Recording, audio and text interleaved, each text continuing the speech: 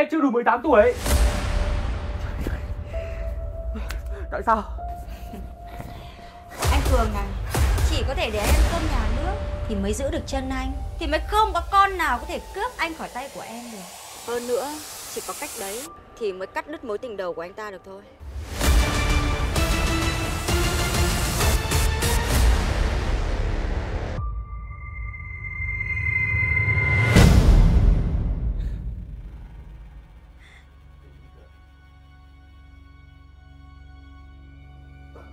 Chuyện gì thế này?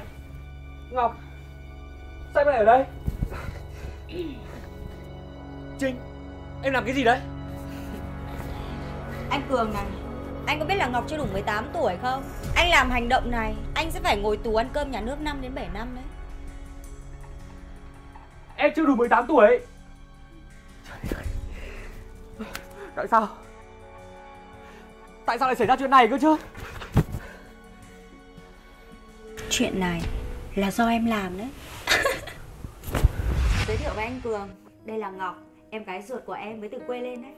Chào em, anh là Cường, bạn của Trinh. Lên thành phố có gì khó khăn ấy, thì em cứ nói với anh để anh giúp đỡ nhá. Dạ vâng, em cảm ơn anh ạ. À, anh uống cốc trà đi cho ấm người ạ. Anh xin.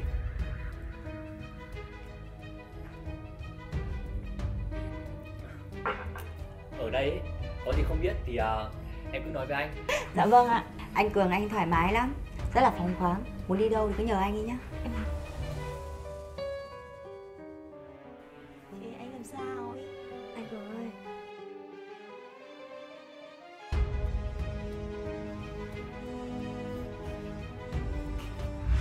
Tại sao? Tại sao cô làm ra chuyện này? Anh biết chuyện em sẽ đi du học ở Pháp 5 năm mà. Đúng chứ? Thì sao? Thì đơn giản thôi Em chỉ muốn anh thuộc về duy nhất một mình em thôi. Mà em đi tận 5 năm Em không thể yên tâm để anh ở nhà một mình được. Cho nên em nghĩ ra cách này Chỉ có thể để anh ăn cơm nhà nước Thì mới giữ được chân anh Thì mới không có con nào có thể cướp anh khỏi tay của em được. Anh yên tâm đi. Đến khi anh được tại ngoại Thì lúc đấy em cũng về nước rồi. Em sẽ bù đắp cho anh 5 năm này. Cô Chị vì Bản thân cần đi du học Mà cô hãm hại tôi ngồi tù sao? Cô còn dùng Trinh là em gái ruột của mình. Làm công cụ để hại tôi à?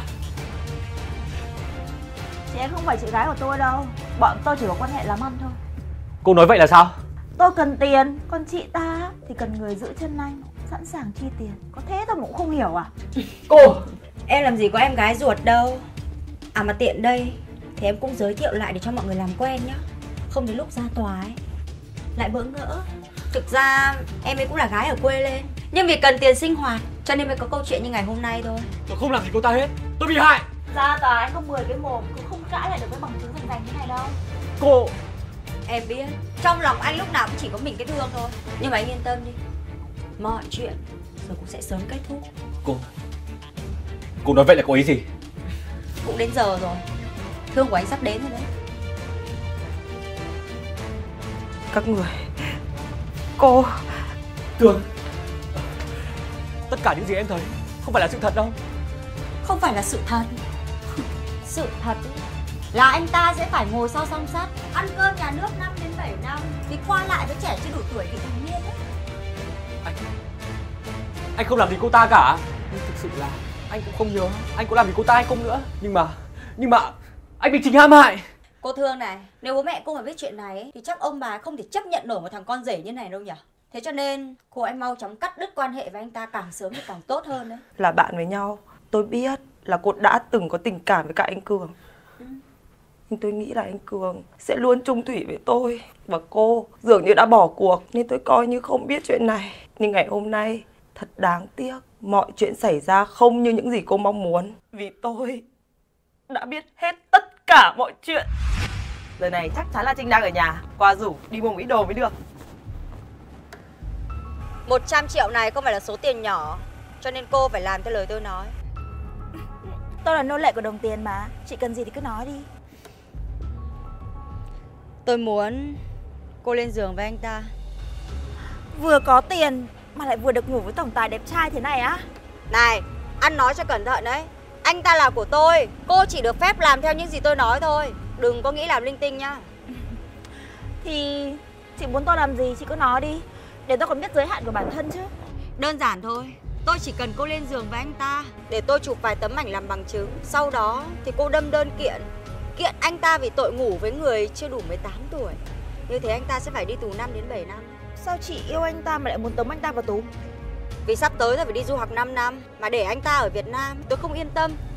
Một người vừa đẹp trai vừa tài giỏi như thế Thì thiếu gì yêu tinh vây quanh. Cho nên tôi chỉ có cách cho anh ta vào nhà đá. Ăn cơm nhà tù Thì tôi mới yên tâm được. Hơn nữa chỉ có cách đấy Thì mới cắt đứt mối tình đầu của anh ta được thôi. Chị cũng cao tay đấy. Em đã biết tất cả mọi chuyện. Vậy tại sao em không nói với anh? Cái còn tránh Ông trời thật là có mát. Đã cho em biết hết tất cả mọi chuyện trước khi nó xảy ra Nhưng mà em vẫn chọn đối mặt với nó. Thay vì né tránh Vì né được lần đầu. Đâu có nghĩa là né được lần thứ hai Ta chọn cách đối mặt và kết thúc tất cả mọi chuyện. Nghe buồn cười thật đấy. Nhưng mà trời tính Không bằng con này tính đâu. Mọi chuyện rồi vẫn sẽ diễn ra theo kế hoạch của tôi mà thôi. Nhân chứng bằng chứng có đủ cả. Anh yên tâm Anh không thoát được khỏi tay của em đâu. Cô càng nói Tôi càng ghê tởm con người cô hơn đấy. Nhưng mà Trinh ạ Cô tính Đâu bằng được tôi tính gái ơi. Em đã hoàn thành xong nhiệm vụ rồi. Chị nhớ thanh toán cho em nhé. Có danh kìa. Mày đang nói cái gì đấy à, à Mày dám thông đồng với nó Qua mặt tao à? Còn mất dậy đấy à.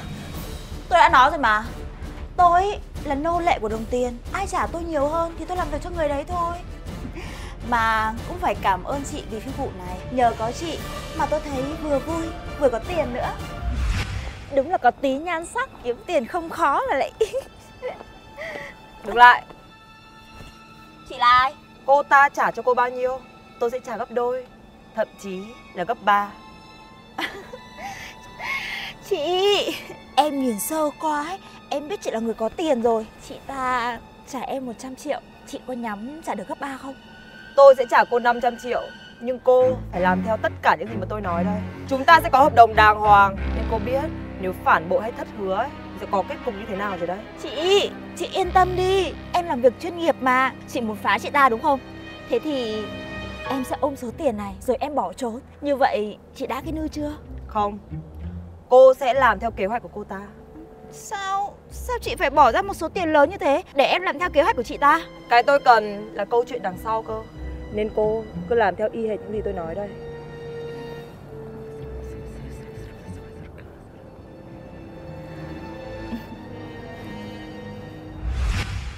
Em nhận được rồi ạ.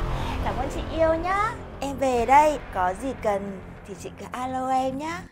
Bye. Còn thốn nạn mày đứng lại đây. Mày không tuân thủ hợp đồng Mày phải đền tiền cho tao. Lúc hại người khác Sau nghĩ đến cái cảnh này đi? Tôi chỉ cho cô nhận lại tất cả những thứ Mà cô gieo rắc cho người khác thôi. Còn tôi chưa từng tính kế hại lại cô đâu. Cô nên cảm thấy biết ơn vì điều đấy. Biết ơn á. Danh Cô đừng hòng động vào cô ấy Sao anh lại đối xử như thế với em?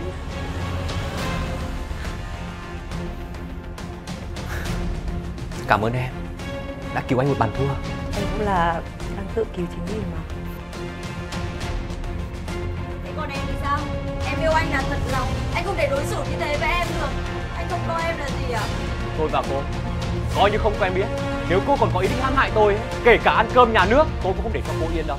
Còn từ bây giờ Cô biến khỏi tầm mắt của tôi. Ok mình đi thôi em. Ok, anh cường, anh không được đi, anh không được đi!